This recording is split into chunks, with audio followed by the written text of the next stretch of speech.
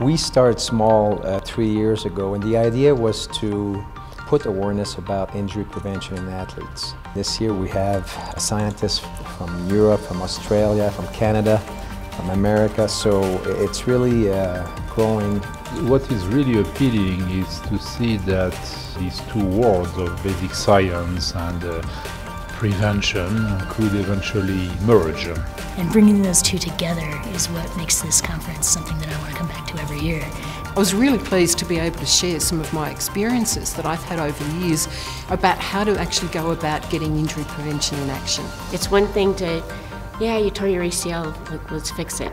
But I'm more interested in making sure if athlete doesn't injure the ACL to begin with. We want to make sport safer. Sport has so many positive, so many benefits for athletes and for society in general. What we do on anti-aging to trying to delay aging related disease, it can significantly apply to injury prevention. But now I think that, that this is going to open up a whole new area and that we will, as sports doctors, will have to you know, take better, much better care of the athletes than we have done.